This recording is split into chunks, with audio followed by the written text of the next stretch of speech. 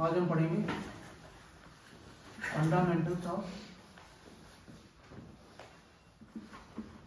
Fluid flow ठीक है? ये आपका चैप्टर फाइव आपके सिलेबस का चैप्टर है? फाइव अभी तक जो आपने पढ़ा अभी तक आपने पढ़ा स्टैटिक पार्ट ठीक है? आज अब से आप पढ़ोगे? डायनामिक इसमें फ्लूइड क्या होता था? एट रेस्ट होता था ना इसमें फ्लूइड इन मोशन ठीक है? अब जो भी आप पढ़ोगे टॉपिक्स उसमें फ्लूइड आप देखोगे मूव करेगा। ठीक है? अब आपने ये पढ़ना है। ये वाला हो गया कंप्लीट ठीक है? इसमें लिखो सबसे पहले अब फ्लूइड जब मूव करेगा उसकी अलग प्रॉपर्टीज़ होंगी अलग सब कुछ अलग अलग होगा उसमें ठीक है? पहले लिखो कुछ डेफिनेशन लिखो। पहले लिखो steady steady and unsteady flow steady and unsteady steady से क्या समझते हो आप? कोई भी चीज़ अगर टाइम के साथ चेंज नहीं हो रही है उसको बोलेंगे हम स्टडी ठीक है? अब फ्लूइड में कैसे बोलेंगे? ऐसे लिखना when various properties of fluid when various पहले लिख रहा हूँ स्टडी ठीक है? When when various properties of a fluid like pressure velocity when various properties of fluid like pressure velocity uh, density etc etc do not do not change with time do not change with time that flow is called a steady flow ठीक है इसमें आएगा do not change with time इसमें आएगा इसमें क्या करोगे unsteady हो गया? जो चेंज होता है टाइम के साथ। डू नॉट इसमें आएगा डू नॉट चेंज बस ये फ़र्क है दोनों में। Do not change with time and change with time ठीक है? वो खुद लिखना है शॉर्ट सा लिख रहा हूँ थोड़ा सा कि आपको चेंज विद टाइम जो प्रॉपर्टीज़ हमने इसमें लिखी ना जैसे क्या लिखा है मैंने? वेलोसिटी प्रेशर डेंसिटी अगर ये टाइम के साथ किसी पाइप में फ्लो हो रहा है अगर इनकी वैल्यू टाइम के साथ चेंज नहीं हो रही है आ, अभी अगर वैल्यू कुछ है आधे घंटे बाद वही वैल्यू है सेम तो हम फ्लो को बोलेंगे स्टडी फ्लो लेकिन अगर वही हम अनस्टडी की बात करें तो टाइम के साथ वैल्यू चेंज होती है. ठीक है? अभी कुछ वैल्यू है आधे घंटे बाद कोई और वैल्यू है. वो हो गया हमारा अनस्टडी ठीक है? सिंपल है सेकंड लिखो. यूनिफॉर्म एंड नॉन यूनिफॉर्म ये छोटी छोटी डेफिनेशन है पर पेपर में आ सकती है. यूनिफॉर्म एंड नॉन यूनिफॉर्म पहले लिखो यूनिफॉर्म सेम ऐसे लिखना। पहले यूनिफॉर्म का लिखाऊँगा ये उसका ऑपोजिट होगा। इसमें टाइम का क्राइटेरिया होता है। यह do not change with time यह आएगा विद डिस्टेंस डिस्टेंस के साथ वेरी नहीं करता है। ठीक है? इसमें आप लिखो व्हेन वेरियस प्रॉपर्टी पहले लिखो आप uniform when various properties of a fluid when various properties of a fluid like क्या क्या लिखा है? प्रेशर वॉल्यूम डेंसिटी कुछ भी ले सकते हो। ये प्रॉपर्टीज़ होती है फ्लू की। When various properties of fluid like pressure density volume etcetera do not change क्या आएगा? Along a distance along a distance that flow is called uniform flow do not change along a distance ठीक है? That flow is called uniform flow इसका opposite किसमें लिखोगे आप?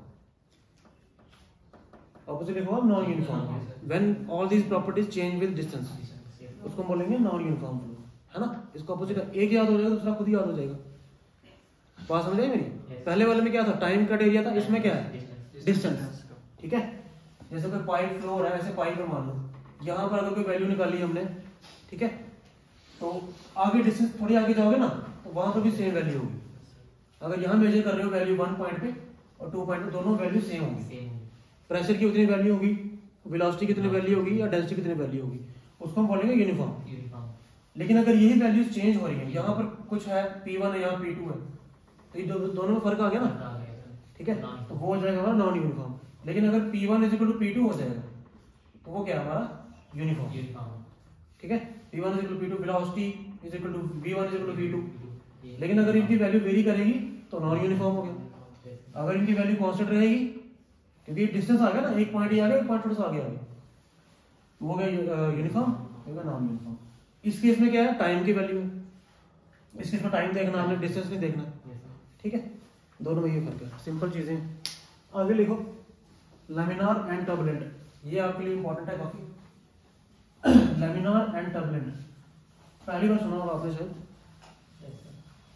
Third हम पढ़ रहे हैं। लेमिनार बड़ी इंटरेस्टिंग चीज़ है लेमिनार एंड टर्बुलेंट आगे आपने यही पढ़ना होगा। Laminar flow and turbulent flow देखो मान लो एक पाइप है। पाइप में फ्लो होगा? यहाँ से यहाँ फ्लो हो रहा है मान लो। अगर बिल्कुल ऐसे स्मूथली फ्लो हो रहा है क्या? हर एक लेयर जो है प्रॉपरली फ्लो कर रही है। कोई भी जैसे वाटर है या कोई फ्लूड है उसमें लेयर्स होंगी ना?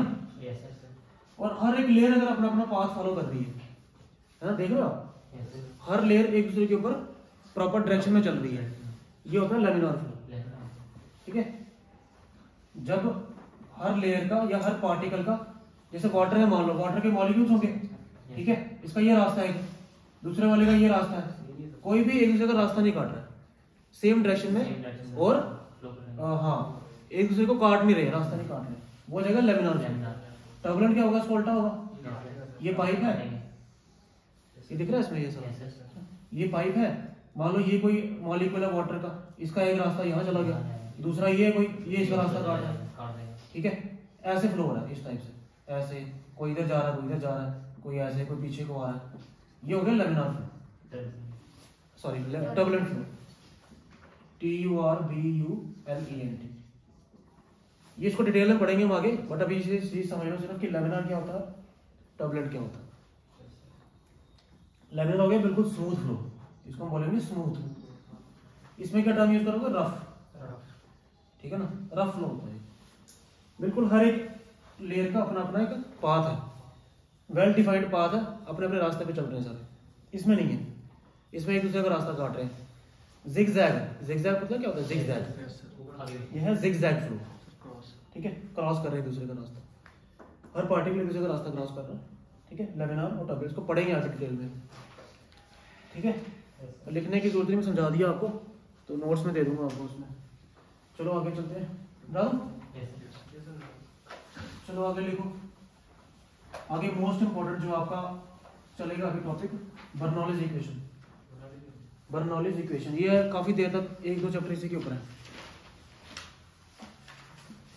ये मैं आप ये आपका मेन है।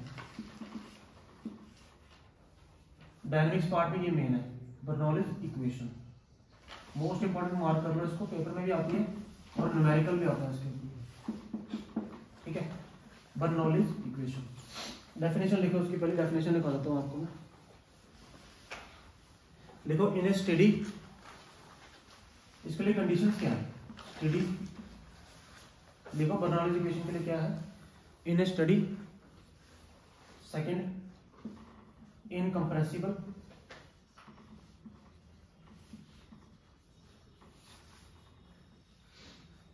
in steady incompressible ठीक है आइडियल ये तीन कंडीशन है. In steady incompressible ideal flow हाँ आइडियल फ्लो इन्हें ये तीनों फ्लो है ना? इन्हें steady incompressible and ideal flow ये तीन कंडीशन है बर्नॉलेज इक्वेशन की ठीक है? लिखो total energy of a total energy of a fluid उसका आगे लिखना total energy of fluid remains constant in a steady incompressible and ideal fluid total energy of a fluid at every point एक add करो at every point remains constant. Total energy of fluid at every point remains constant.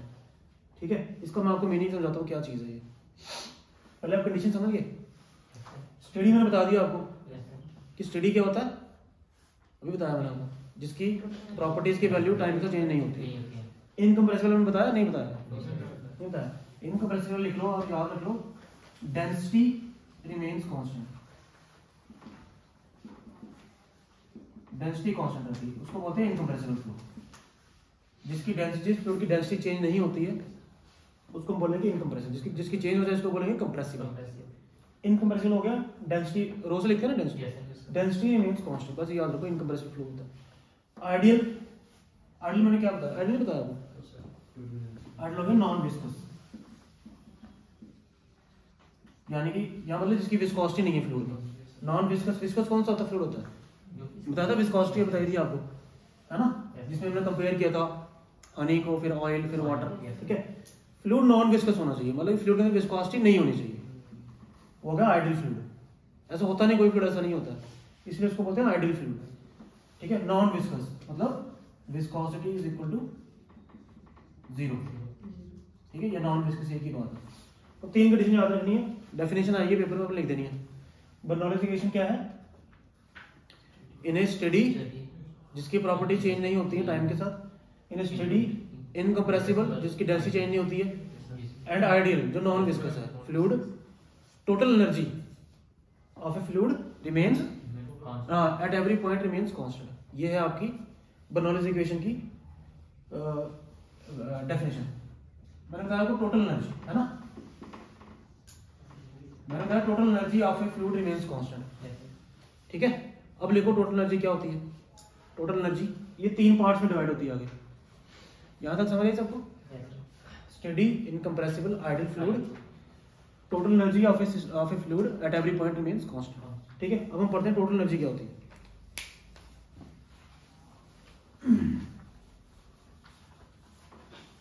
देखो ये चीज़ें notes समझ ना आएँगी। इसलिए मैं वीडियो करना ठीक है। ताकि सबको समझ आ जाए। टोटल एनर्जी बता रहा ठीक है? टोटल एनर्जी ई लिखते हैं टोटल एनर्जी ठीक है? अभी किस किस की बनी हुई थी बनी होती है? पोटेंशियल एनर्जी पूरा लिखना potential energy plus kinetic energy plus datum energy में प्रेशर प्रेशर है। पी से लिखना pressure energy pressure energy kinetic energy और डेटम एनर्जी। डेटम को पोटेंशियल ही बोलते हैं। पोटेंशियल एनर्जी बोलते हैं ठीक है? पोटेंशियल टोटल एनर्जी तीन पार्ट मैं बता टोटल एनर्जी रिमेंस कांस्टेंट ठीक है, ये बर्नौलीज इक्वेशन कहती है हर पॉइंट पे टोटल एनर्जी सेम रहती है। टोटल एनर्जी आगे तीन पार्ट की होती है। प्रेशर एनर्जी काइनेटिक एनर्जी और डेटम या पोटेंशियल एनर्जी ठीक है? इनकी वैल्यू ज़्यादा तो क्या होती है? P by rho g pressure energy किसके बराबर होती है? इसकी वैल्यू आ देखो v square by two g plus datum होता है जेड ये आ गया आपकी टोटल एनर्जी E. This is the numerical formation of Bernoulli's equation. ठीक है? इस पे न्यूमेरिकल आते हैं, बहुत सारे न्यूमेरिकल आते हैं पेपर में। और वेरी इंपॉर्टेंट है ये। Total energy always consist of three types of energy pressure energy kinetic energy and datum energy या पोटेंशियल एनर्जी प्रेशर एनर्जी क्या होती है? पी बाय पी क्या है? Pressure density gravity V is velocity g आपको पता जेड आ गया datum datum अब मैं इसकी एक, आपको डायग्राम बना कर बताऊँ इसको अप्लाई कैसे करना आपने? ये समझिए ना? और ये क्या बोल रहा है? इज़ इक्वल टू कांस्टेंट ये ना? ये किसी भी फ्लूइड में, किसी भी पाइप में ये total constant total sum constant रहता है। ये वेरी इंपॉर्टेंट है। ये सम तो है। टोटल एनर्जी इसकी बनी है। और इन सबका सम जो है किसी भी फ्लूइड में कांस्टेंट रहता है। किसी नहीं जिस जो कंडीशन जो सेटिस्फाई करेगा तीन कंडीशन आइडियल इनकम्प्रेसिबल और स्टडी वो तीन कंडीशन जो सेटिस्फाई करेगा उसमें ये चीज़ें जो है कांस्टेंट रहती ठीक है? अब इसको अप्लाई कैसे करना मैं बताता हूँ आपको। ये नोट हो गया? ठीक है? कैसे इसको अप्लाई करेंगे देखो मान लो कोई पाइप ऐसे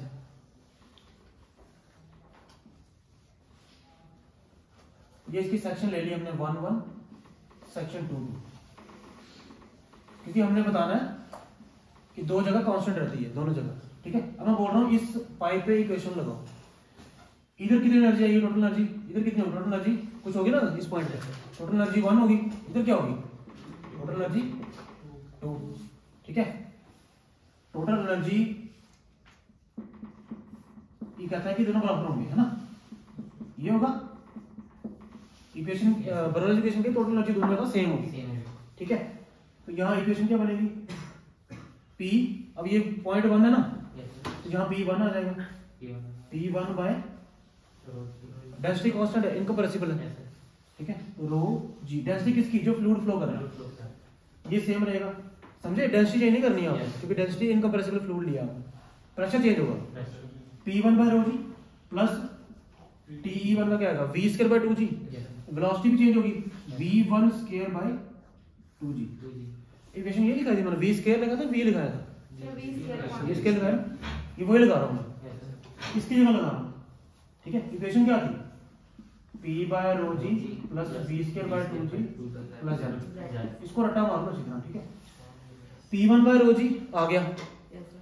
ये पॉइंट वन के लगा दें। फिर इसके लिए पॉइंट वन के लिए वेलोसिटी भी कुछ ना कुछ यहाँ पर प्रेशर क्या होगा? P वन यहाँ वेलोसिटी होगी? V वन यहाँ प्रेशर क्या होगा? P टू यहाँ वेलोसिटी होगी V टू डेटम होगा इसका Z वन इसका डेटम होगा Z टू ठीक है? डेटम होती है किसी रेफरेंस लाइन से इसका सेंटर ये होता है डेटम जेड वन ये होता। है समझे मेरी बात? जेड वन क्या हुआ? किसी पाइप के सेंटर से किसी रेफरेंस लाइन का डिस्टेंस ठीक है? और यहाँ पे क्या होगा जेड ये होगा। ये तो पाइप हॉरिजॉन्टल है ना? अगर पाइप ऐसे होती है मान लो, इस टाइप से होती। ठीक है? मैंने इसको मैं हॉरिजॉन्टल वो इंक्लाइंड बनाता हूँ, फिर समझ आएगी आपको। फिर आपको जेड भी दिख जाएगी ना, इसमें जेड कहाँ है? मान लो ऐसे पाइप ठीक है? ये रेफरेंस आ गया इसका सेंटर ये होगा ठीक है? एक सेक्शन वन एक सेक्शन टू स्टडी करने के लिए सेक्शन ले ली वन और टू ठीक है? फ्लूइड फ्लो कैसे हो रहा है? ऐसे ठीक है? फ्लूइड फ्लो ऐसे हो रहा है, यहाँ से। यहाँ यहाँ कुछ वैल्यू होगी वेलोसिटी की? V1 प्रेशर की कुछ वैल्यू होगी? P1 यहाँ पर भी वेलोसिटी होगी v2 प्रेशर होगा p2 ये तो आगे प्रेशर और वेलोसिटी अब रह गया हमारा डेटम डेटम क्या होता है? इसका सेंटर कहाँ पे ये? ये सेंटर है ना इसका यहाँ से इसका डिस्टेंस z1 ये होगा z1 और ये इसका सेंटर क्या है ये? यहाँ से ये होगा z2 अब समझ आया ना z1 z2 कैसे लेने हैं? लेकिन अगर पाइप सीधी होगी हॉरिजॉन्टल मैंने जैसे पहले बनाया था तो उसमें दोनों बराबर हो जाते हैं ना क्योंकि पाइप ही हॉरिजॉन्टल है दोनों सेंटर सेम लेवल पे होंगे। इसलिए मैंने आपको ये वाला केस बनाया। ठीक है? अच्छा इसका P one by rho g plus v square by two g plus क्या आएगा जेड वन ठीक है? Will be equal to second वाली पॉइंट के लगाओ P two by rho g plus B2 square plus z two plus ये ऐसे लगानी है आपने इक्वेशन एक पॉइंट और आगे होगा तो वो भी इक्वल टू आ जाएगा। क्योंकि इसने बोला वो टोटल एनर्जी कांस्टेंट रहती है हर जगह। ठीक है? ये मैंने दो पॉइंट के लिए लगा दिया आपको। कैसे इक्वेशन है? इसी पे न्यूमेरिकल करने हैं आपने। मैं आपको अप्लाई करना सिखा रहा हूँ कैसे अप्लाई करना है। ये डायग्राम बना लो वेरी इंपॉर्टेंट है। इसको समझ आओगे तो क्वेश्चन न्यूमेरिकल आराम से निकल जाएँगे आपके। ठीक है? कोई प्रॉब्लम कोई डाउट ठीक है? इक्वेशन याद रखनी है। अप्लाई कैसे करनी है? दो पॉइंट लेने हैं। दो पॉइंट ही होंगे हमेशा क्वेश्चन में। दो पॉइंट लेने हैं। दोनों में इक्वेशन लगा देनी है। फिर आपको न्यूमेरिकल में आएगा कि इनमें से कोई वैल्यू निकालनी है आपने। डेटम निकालना होगा या उसका प्रेशर निकालना हो या वेलोसिटी निकालनी हो। इस तरह से न्यूमेरिकल आते हैं। ठीक है?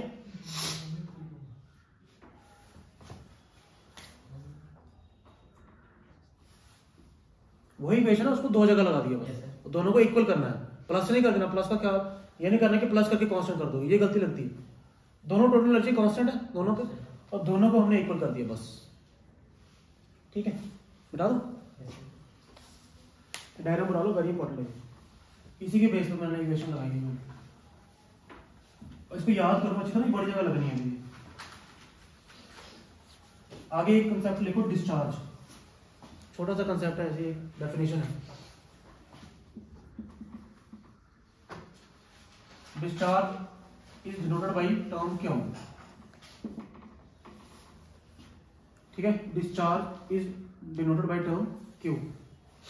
And Q का रिलेशन क्या होता है? Q is equal to volume volume of fluid upon time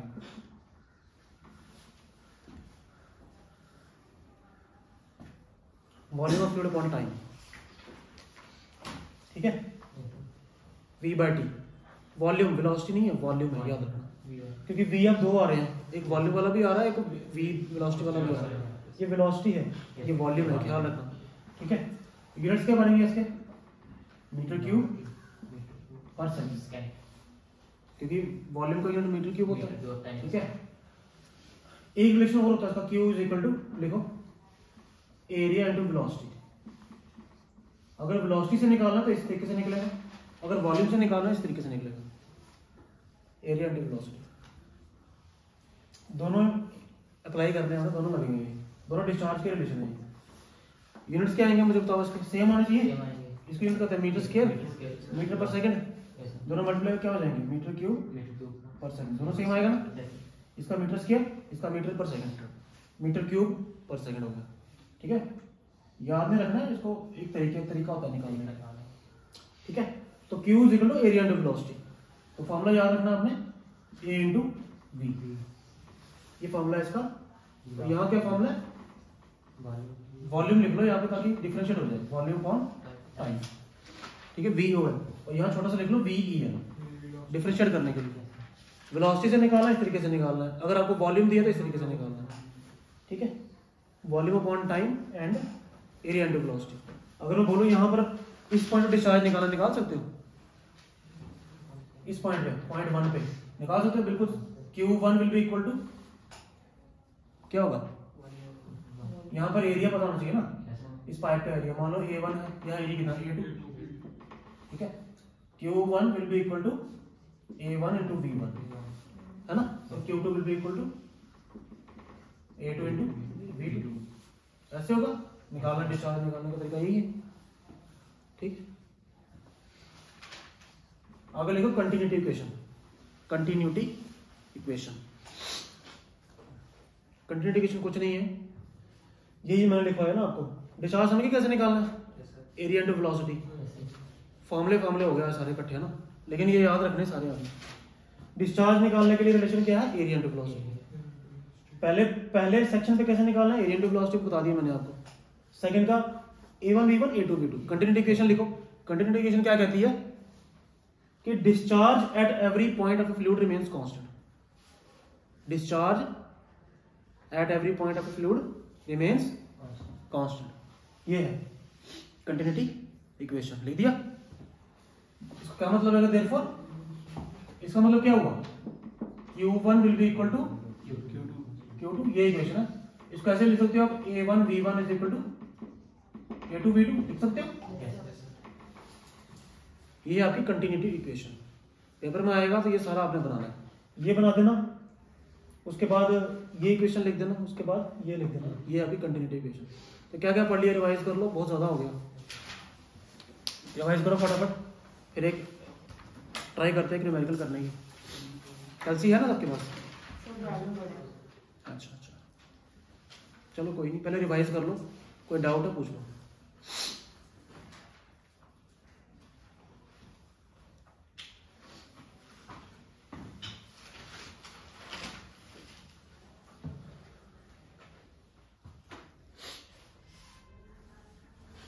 बंद कर दो इसको समझा दिया ना बंद कर दो